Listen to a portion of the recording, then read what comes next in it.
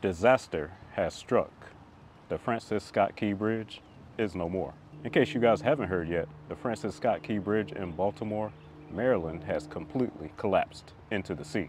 Now there's a lot of information floating around about what happened, what this means for the city and such. So in this video, I'm going to fill you in on exactly what the Key Bridge was, what we know so far about how it collapsed, as well as how the loss of the structure will impact the Baltimore area and the rest of the country. Hit that like button, subscribe if you love infrastructure and geography, and let's talk about the Francis Scott Key Bridge. So the first thing we need to understand is what was the Key Bridge? The Francis Scott Key Bridge was a steel arch truss bridge that carried four lanes of Interstate 695, the Baltimore Beltway, over the Patapsco River, and it saw around 34,000 vehicles per day. The main span of 1,200 feet, 366 meters, was the third longest span of any continuous truss in the world, and its total length was 8,636 feet. It was the second longest bridge in the Baltimore metro area after the Chesapeake Bay Bridge. It had a vertical clearance of 185 feet and a spacing of 1,200 feet between the main pillars, which allowed a large amount of space for vessels to pass underneath. It originally opened in 1977 and was named for Francis Scott Key, author of the Star Spangled Banner, America's national anthem. The bridge was a tolled route and it was used as an alternative through route for oversized and hazmat vehicles, which are prohibited from using I-95 and I-895, also known as the Baltimore Harbor Tunnel and the Fort McHenry Tunnel, respectively. The Key Bridge was the outermost of the Patapsco River crossings and connected the Hawkins Point neighborhood of Baltimore with Dundalk in Baltimore County.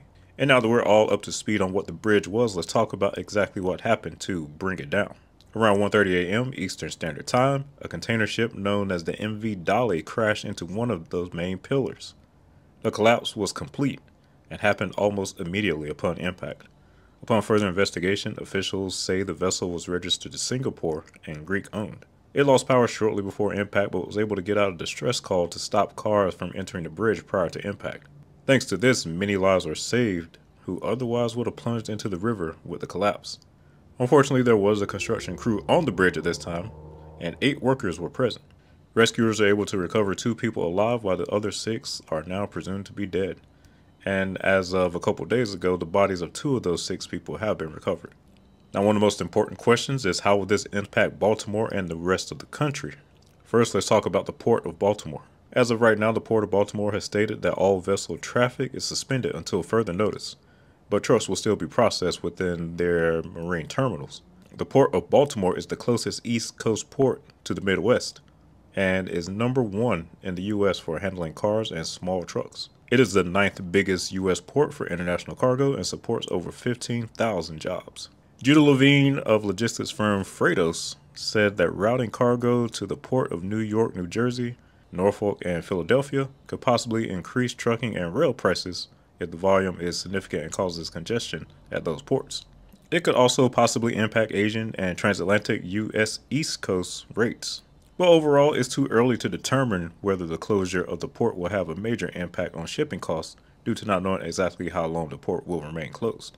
Governor Wes Moore says it's too early to say when ships will be able to enter the port again. One silver lining is that apparently there's a narrow channel through the center of the river which large ships will be able to use while workers clear the debris, but there is still no word on when or if this will be possible. And now the impact on roadway traffic.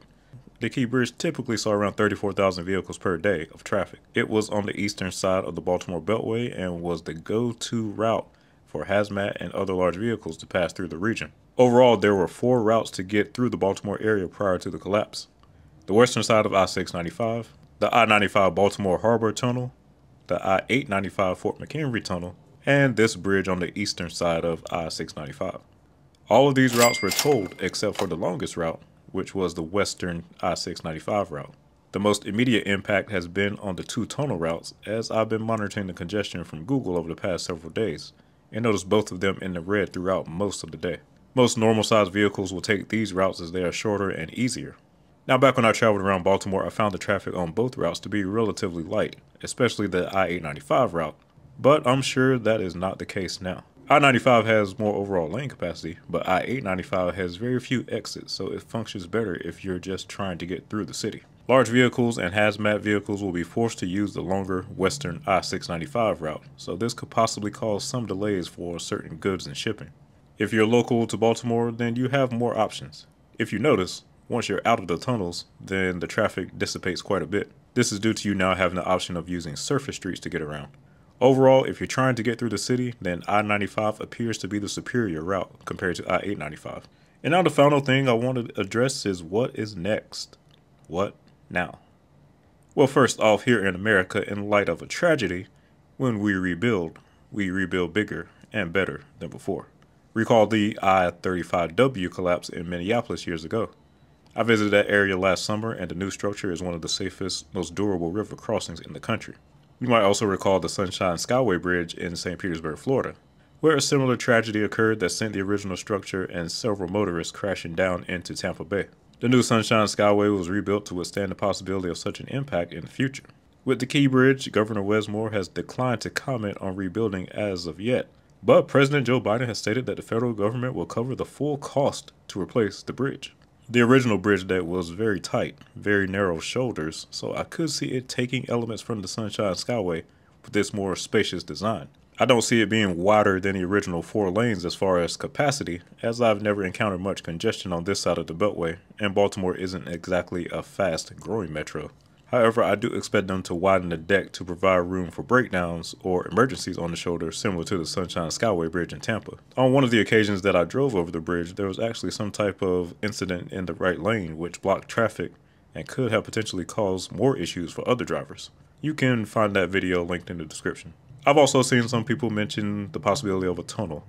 It is unlikely that this bridge will be replaced with a tunnel due to the cost and the inability of hazmat vehicles to use tunnels. But at the end of the day, it's way too early to tell as no one is even discussing potential designs or overall costs for the rebuild.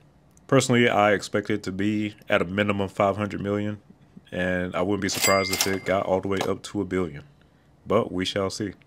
But make no mistake, the bridge will be rebuilt and I wouldn't be surprised to see it done by 2030 at the latest. And there you have it, guys, the Francis Scott Key Bridge. What a tragedy. Rest in peace to the workers who happened to be on the bridge during that collapse. Let me know what you guys think about this disaster in the comments. If you ever had a chance to drive across that original bridge, or what do you think the replacement should look like? Thanks for watching, and I'll see you on the next one.